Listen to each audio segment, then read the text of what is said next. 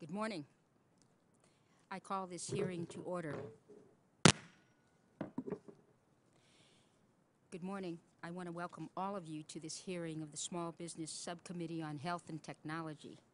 It's an honor to chair this subcommittee, and I look forward to continuing the work we're doing to improve opportunities and growth for the nation's small businesses.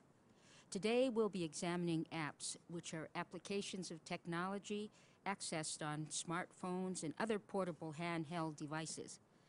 U.S. demand for mobile data grew by 63% in 2014 and is expected to increase sevenfold by 2019. Since, 20, oh, since 2007, the United States has seen more than 750,000 app economy jobs created. An astonishing 77% of the apps are made by startups or small companies, and nearly 80% of these companies are located outside of Silicon Valley. And this industry is steadily growing. Findings predict that the app economy will reach 151 billion by 2017. App technology provides businesses and consumers with fast, viable solutions to everyday problems. And research shows it is the entrepreneur, due to an ability to remain flexible in a quickly changing market environment, who is leading the development of these innovative apps. Developers are producing apps that integrate home automation systems, track and monitor health statistics, offer budget and financial transactions tools, and allow consumers to have their groceries purchased and delivered. The continued impact that the app industry will have on the United States economy are significant, and we must help foster that growth. In fact, more than 20% of all apps sold in China were developed by American businesses. This is a perfect illustration of the potential growth for the industry. I also want to touch on the implications app technology provides for underserved regions such as my district, American Samoa. Entrepreneurs in the farthest corners of America can tap into the app industry, and our residents are among the innovators.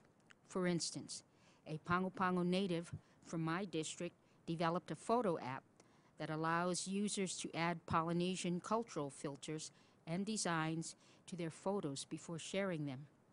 I want to thank the witnesses for being here today to help us examine and further understand the implications app technology can have on the economy. I'd like to take a moment to explain the timing lights for you.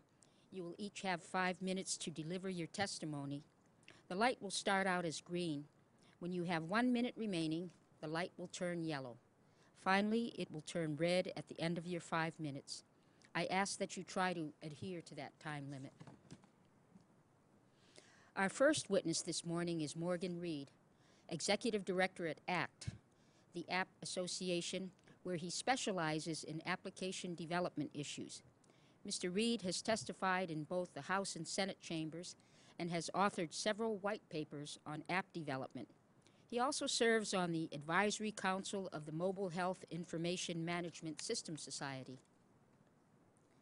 Our next witness is Dr. Patricia Greene. Dr. Greene is the Paul T. Babson Chair in Entrepreneurial Studies at Babson College. Before joining Babson, she chaired entrepreneurial and leadership programs at the University of Missouri, Kansas City, and Rutgers University.